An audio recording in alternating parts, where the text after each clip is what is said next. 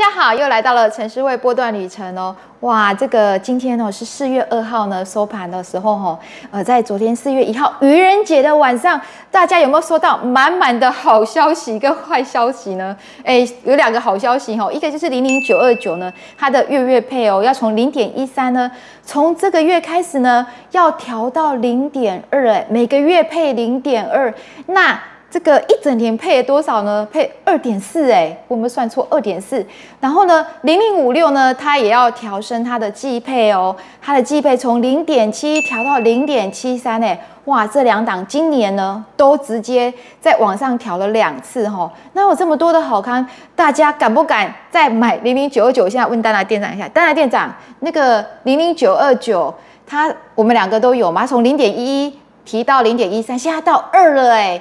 殖利率听说有十一点五趴，你要再大力买进吗？嗯，如果要长期持有还是可以啦，我觉得。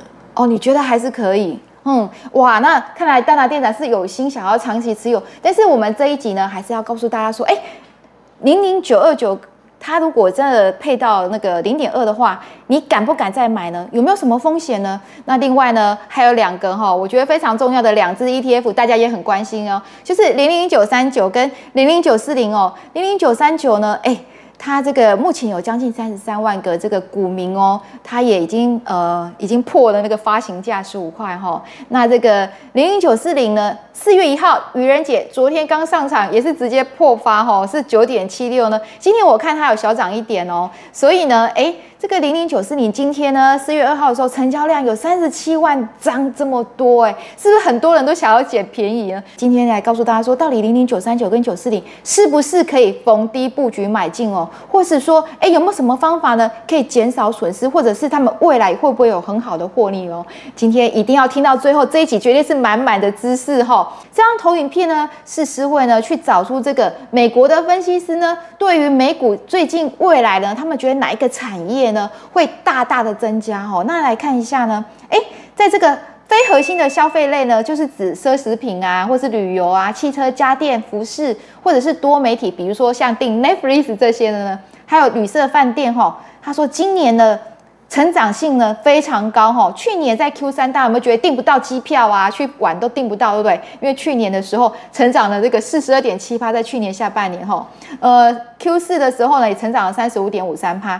那今年到底会不会继续成长？其实旅游业都很好了，你看那个清明年假，我朋友说都订不到机票了哈。那第二个呢是资讯科技哈跟通讯服务类哦，大家可以看哦，在去年的时候呢 Q 三跟 Q 四两个加起来呢，哎。就已经来到成长了快四十趴哦，然后在今年 Q one 的时候十九点六趴，今年 Q two 呢是十四点九趴，Q 三十三点九趴，跟 Q 四是十五点一趴。哇，这个整个 Q 站加起来的话，我看它成长也翻倍了吼，所以今年的资通讯的成长将会翻倍哦。那我们来对照一下，那台湾是不是也是这样呢？是会去查一下哈，在今年的那个二月的出口值呢，哎，年增一点三趴，而且今年前两个月的那个出口年增跟去年同期比是增加九点七趴哦，这是以美金计算，如果是以台币计价的话，是成长十二趴这么多，而我们。在这一次二月份的资通讯跟视听产品的出口增加了一倍哦，这个就等于是这个美股的资讯科技跟通讯服务哈这两项的产品看来是相当的符合，所以对于今年上两万二呢是可以期待的哦，是可以期待，这是真心的哦。那如果大家想知道说到底台股会不会上两万万二，或者是什么时候我们要放更多钱在 ETF 呢？或者是 ETF 到底？呃，会不会是正成长的呢？我觉得非常简单一件事，就是请大家跟着我每个月看出口。那其实只要看城市会波段里程频道，我们每一集每一个礼拜都会跟大家 update 总金哦。而所以呢，如果喜欢我们频道，记得要多多跟你的朋友们分享，因为你分享就分享这个正能量，也让大更多的你的朋友赚钱哈，我们也很开心。你看零零九二九哈，就是这个。富华台湾科技哦，它今天早上的话涨最多是二十一点二六哎，但是呢，它最后收盘是二十一点零七哈，二十一点零七的话，它这样也是幅度也是涨了一点四九趴，可是它早上又涨到二点六趴，从这边可以看来说，哎，这个因为哈，这个每个月要配零点二块钱，大家真的是还蛮有心想要去增加它的子利率。因为它现在是十一点五趴嘛，吼，但还是蛮想要买这个有很高值率，所以 ETF 是会有告诉大家，第一点最重要是要选一个高值利率，第二点是选成交量。很高哈，那成交量跟规模来看呢，这个零零九二九是都有符合呢。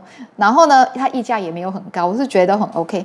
那我们再来看一下零零九四零今天的表现哈，零零九四零是元大台湾价值哈高息，它今天来到九点八哦，它昨天的话是九点七六，今天来到九点八，它今天的涨幅呢，哎，我们来看是零点四一哦，哎。它今天的成交量更高哎，三十七点七万的成交量，就是比那个零零九二九还高。可是我觉得这是有道理的，因为它一张才十块啊。而零零九二九我们来看哦，它现在一张是二十一点零七耶，哦，两个价格是差了两倍多，所以这个十块钱呢，而且是破一张才九点八块，其实是还蛮便宜的哈。这让小资主呢。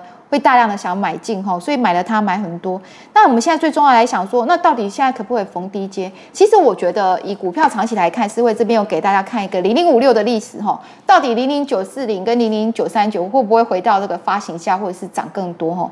那思慧这边呢，给大家看一下这个零零五六的历史哈，哎，为大家准备一下呢，希望说哎大家不要太紧张哈。零零五六哈，它也在昨天公告，它要配零点七三元，殖利率来到七点三哦。你知道吗？零零五六有一百零二万的股民哎，现在零零五六呢，它的年息的殖利率呢，它来到七点三六趴哦。然后四月十八号除息，所以呢，哎，股民们哈，呃，今天现在已经四月份嘛，想要零零五六的呢，哎，要记得它四月十八号除息哦。而零零五六去年哦，它的这个获利哦。有这个五成呢，嗯，因去年是所有高股利股息 ETF 的榜首，所以喜欢零零五六的朋友们记得哦，要在四月十八号之前要买进它。那我们来看一下零零五六哈，其实这个零零五六几乎每次都会填息啊，所以呢，投资人其实买它真的是存股十五年来哈就是赚啊。那我们来看一下这二零二四它大概会配多少呢？如果是零点七三，我们就零点七三呢，我们来乘以四的话。二点九二哎，哇，将近三块钱哦，所以去年是配二点二一整年，今年可能会来到二点九二哦。大家知道，在十五年前啊，这个零零五六它的发行价是二十五块钱哦。哎，大家有没有发觉到，这十五年来它配了二十二点二五，几乎是。快接近发行价，非常好水准。所以从此来看呢，如果你买的是高股利股息的 ETF，如果你不要看太短线的话，把它拉长来看，几乎都可以赚钱。所以请这个那个七十万的零零九四零的股民们，跟三十二万多的零零九三九的股民们，请你们不要担心哦。那现在我们最重要是来看它到底会不会往上涨呢？会不会往上涨？那刚才是会有告诉大家哈，这个美股啊，诶，这个 AI 概念股跟这个资讯通讯股都会涨。那台湾呢，也是科技之岛，我相信它今年呢，诶，突破两万会再继续往上呢，一定是有这个可能性的哈。像是会啊，我就上个月就收到这个零零九二九的这个。它的那个股利股息哈，就是基金收益分配法通知单哈。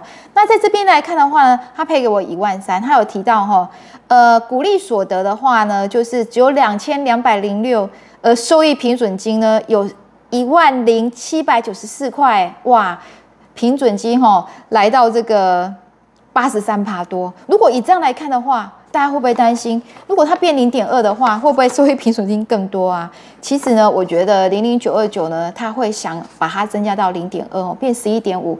其实哈，你真的去呃算它手上的这些成分股，其实这些电子股大概值利率都五趴，怎么可能来到十一点五趴呢？我们来看一下这个 ETF 受益人数哦，因为现在零零九。二九呢，它的受益人数，我们看这张图哦，是六十二万四千五百零七人，到三月二十九号截止。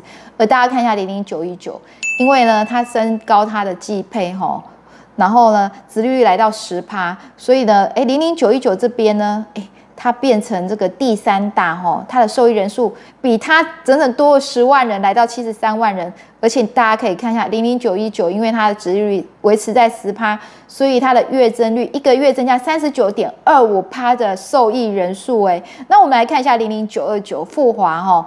这一档它一个月只有增加二点三一趴而已，所以呢，哎，它人数直直接被零一九一九甩开了哈，然后变成这个现在零九四零有七十万，它变第六大。如果以这样看来，零零九二九为了要扳回它的领土呢，哎，所以它直接一口气从零点一三变零点二，有十一点五趴，我自己都会担心这个它从平准金都是从我们的这个。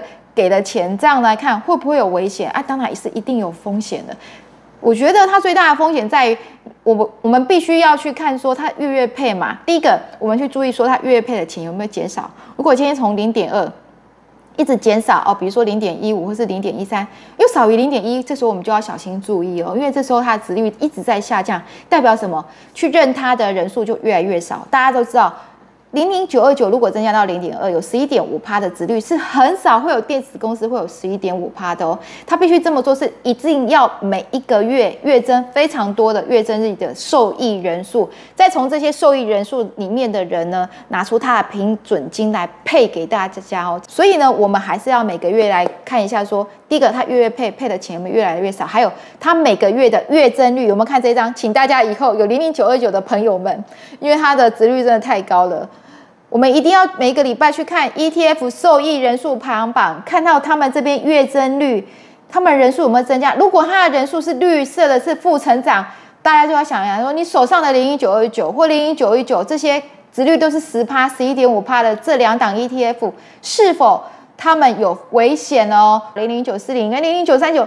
到底可不可以继续继续的加码？哈，我的答案是肯定的哦，是可以逢低加码。为什么呢？其实大家来看哦，从零零九二九呢，跟零零五六，跟零零九一九，最近呢，因为他们都增加他们殖利率，导致更多的散户们呢，他们想要投入哦，去买 ETF。所以大家有没有发觉到，如果今天，哎，你看九二九跟九一九，今天这么大的这个，还有零零五六，今天比较大的成交量，会拉抬这些成分股哦。而零零九二九、九一九跟最近新上市可破发的零零九四零跟零零九三九里面的成分股很多很像啊，我们来看一下哦。你看零零九四零，不管是长隆啊、联电、联发科啊、环球金啊、日月光这些，他们前十大成分股几乎啊六成都是一样的哦。